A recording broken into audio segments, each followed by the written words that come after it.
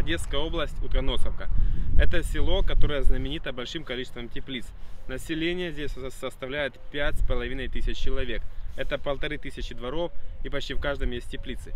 Средняя площадь на всю Утконосовку теплиц закрытого грунта это 150 гектар приблизительно. Здесь выращивают капусту, которую сеют в, начале в конце ноября, высаживают в начале февраля, весь февраль идет высадка. И сейчас, вот сегодня у нас 13-14 апреля, уже начинается кое-где в первых дворах, кто рано э, высаживал, хорошие условия, начинают ее убирать. И дальше, после капусты, на постоянное место высаживают э, томат. Он будет без, отопления. Есть и раньше, которые с отоплением высаживали. Здесь условия для выращивания, они довольно агрессивны. Вода для полива составляет 3-4 ЕСИ. Как раз в это время, на середину апреля, те, кто высадили под отоплением, сейчас идет пятая кисть и в самый раз время показать, как нужно удалить, удалить лист над первой, второй кистью. Их нужно открыть. И как это делаем, смотрим на примере в теплице. Сняли здесь, вот коносовки, у фермера, который выращивает томат теплица, растет томат. Сейчас цветет четвертая, кое-где пятая кисть. И время удалить, э, удаления листа. Нужно кисти открыть, чтобы улучшить налив плодов и сделать профилактику от серой гнили. Это один из самых важных моментов профилактики серой гнили, удаления листа. Удаление листа происходит следующим образом, максимально просто. А, нужно удалить лист, который над кистью, который закрывает кисть. Это может быть не первый, не второй, не третий, это лист, который закрывает кисть. Допустим, давайте разберем вот это вот, эту кисть. А первый лист над ней, он уходит в сторону, он ее не закрывает вообще. А здесь повезло, здесь второй лист именно закрывает эту кисть, и третий не закрывает. Четвертый тоже закрывает, но он не так явно. То есть нужно брать лист, который закрывает. Вот он, движением вверх, лист удалили. удалили. Вторая кисть, вот лист, который закрывает, его тоже можно зараз убрать здесь. Вот у нас вторая кисть. Первый лист не закрывает, второй лист не закрывает, третий закрывает. Он может быть сразу первый по третий, но он не так важен. Главное убрать лист, который закрывает кисть. Он открыл вторую, этот лист, который мы убрали. Это место открыло вторую кисть для солнца. Частично открыла первую. Но мы еще уберем здесь лист между первой и второй, который отсюда, откуда будет попадать средства защиты против серой гнили, удобрения, э, чтобы они легко попадали на нашу кисть. Опять вторая кисть. Лист над кистью. И здесь, ну, к примеру, юг у нас с той стороне, я э, убрал бы вот южный лист, который э, будет создавать тень. Опять над кистью, который закрывает. И вот вторая кисть. Первый не закрывает, второй не закрывает, третий закрывает. И сразу у нас плоды освещаются солнцу они выпадают, они прогреваются, и они лучше прогреваются. А ночью, когда температура падает, тонкий лист быстрее остывает, а плод, который больше масса у него, больше в нем воды, больше он мясистый, он остывает дольше. И туда направляется питание и соки, которые качают корень.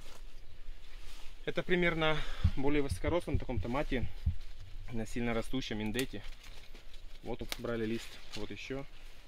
Здесь что-то попалось растение такое непонятное. Ну, принцип такой. Какие ошибки могут быть при удалении листа? При удалении листа не рекомендую делать, убирать 2-3 листа подряд. Помню, когда первый год, когда учились ломать лист, а, было такое, что убрали один лист. Например, кисть выходит сюда, убрали вот этот лист. Его не нужно убирать, потому что он ничего не закрывает. И кисть осталась все равно закрытая. Потом убрали этот, 5 не угадали, потом этот. Убрали 3 листа подряд, и получается здесь такой пучок листьев, а здесь такой голый стволик. Идеально, когда будет равномерно по столу распределение. Лист, лист, кисть. То есть равномерное распределение. Он и наливает плоды, этот куст, и проветривается. И есть лист, который работает с солнцем. Вот мы строим такое растение. Взять здесь. Мы убираем лист, который закрывает кисть. Не два подряд, а один убрали. А, возможно, когда мы лист убираем, а, мы убрали один лист, и мы смотрим, что до конца кисть не открылась. Еще здесь рядом спешить удалять соседний лист не нужно. Нужно убрать там над, над второй, допустим, кистью. Убрать и посмотреть, что в среднем получилось. Бывает, что здесь убрал лист, до конца не открылась. Когда уже убрал здесь, то она открыла и первую, открылась кисть, и, и, и частично помогло открыть первую э, кисть. И тогда видно, что, в общем, картина такая, как нужно. Вот здесь опять вот, вот первая кисть. Она такая симпатичная. И нужно только помочь ей на, налиться. Убираем лист. Она открылась. Убираем лист над второй. Ну, здесь у нас вторую кисть закрывает. И вот у нас открылись все кисти. Потом после обломки, когда проходишь, видно плоды. Вот здесь появились плоды, они были закрыты. Там дальше лист не ломался, а вот здесь проломался. Вот отсюда мы лист сломали. Дальше вот одни листья пошли. Вот проломанный лист. Все плоды появились. Лучшая профилактика серой гнили.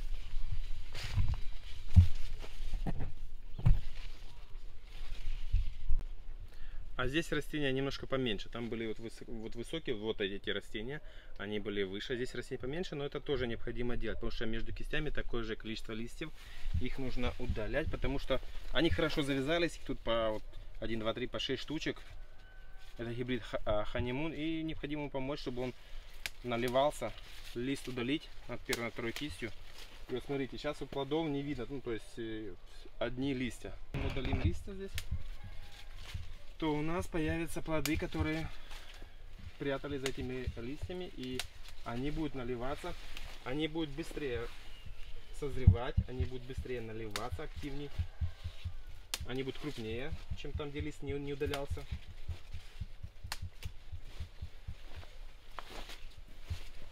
Покажи ближе, как лист. Само удаление листа происходит следующим образом. Это лучше делать утром, до обеда. Поднимаем вверх, и он отламывается. Вот у нас вторая кисть. Открыли. Сразу растение открытое. Здесь ну, можно убрать пол листа. Открыли. Вторая кисть выходит на ту сторону. У нас первая открылась. Здесь у нас лист, который выходит на юг. И прямо вот который над второй кистью. Открылась здесь лист, который всегда убирается лист, который закрывает кисть. Можно убирать промежуточный, но чаще всего, например, здесь, ну, здесь промежуточный, правильно, он выходит на юхе, который закрывает кисть. Здесь тоже, здесь повезло. Бывает такое, что промежуточный лист, который посередине, он выходит вот как здесь, в другую сторону, и он не закрывает кисть. Здесь растение открыто, я бы здесь ничего не трогал.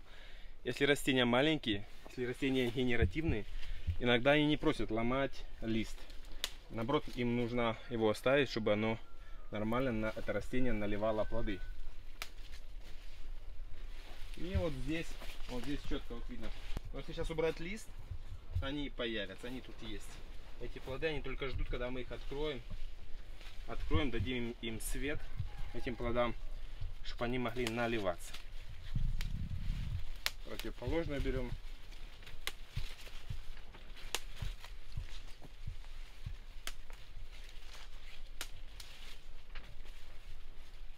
После удаления листа желательно сделать профилактику от заболеваний. Э, мне нравилось работать препарат Switch и Топсинем, которые подсушивают. Я сюда направлял прыскиватель в те места, где были ранки. Появилась кисть. Вот здесь есть кисть. Осталось убрать лист. Раз. И, наверное, вот эту брать. Все кисти открыты. Над первой. И которые закрывают вторую. Опять здесь. После такой операции, после такой операции, мне нравилось еще проходить удобрением кальцинитом по листу 40 грамм на 10 литров воды по всему растению.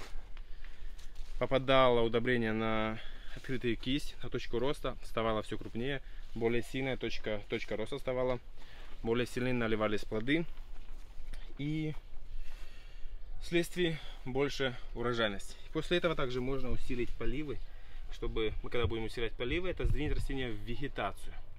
А так мы убрали лист.